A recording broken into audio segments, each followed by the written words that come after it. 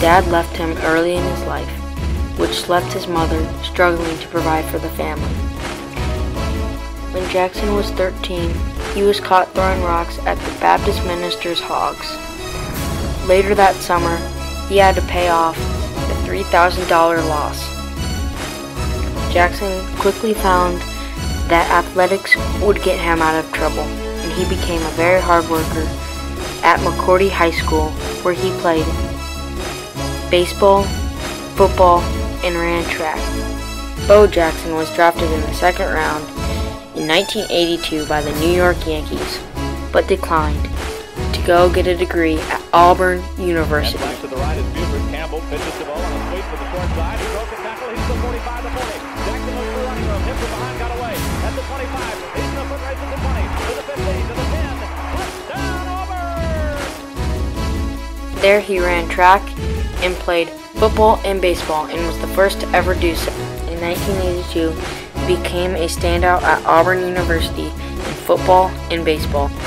Bo Jackson shattered many records at Auburn University and was named MVP in football at the Sugar Bowl and Cotton Bowl, and came back his senior year after being drafted first round in the NFL, and came back and won the most prestigious award, the Heisman Trophy.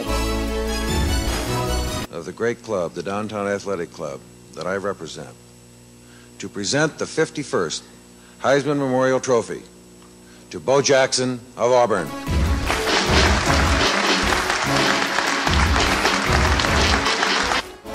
He did not slack behind in baseball, as he made the all-regional team and in 1985 was selected into the major league by the California Angels but declined to return for his senior year.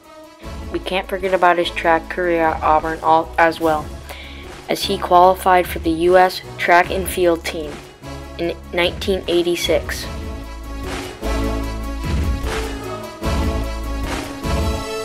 After college, Bo Jackson played in the MLB as well as the NFL.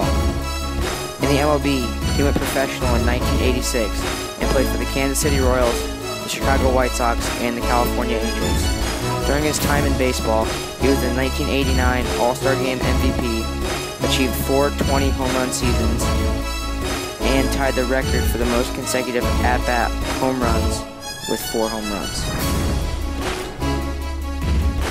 Jackson's professional football career started in 1987 when he signed with the LA Raiders.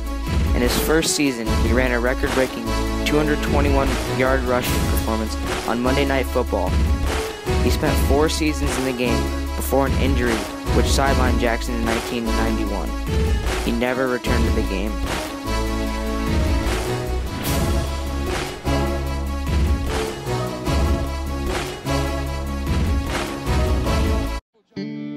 When your legs don't work like they used to before.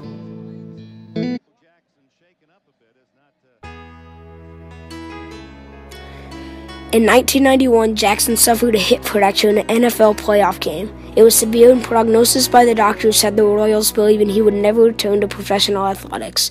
They let him out of his contract early and the Chicago White Sox picked up his option. Football was over for the season, but Jackson's love of baseball motivated his rehab. And in 1992, he was back on the field helping the White Sox capture the 1993 American League West Championship.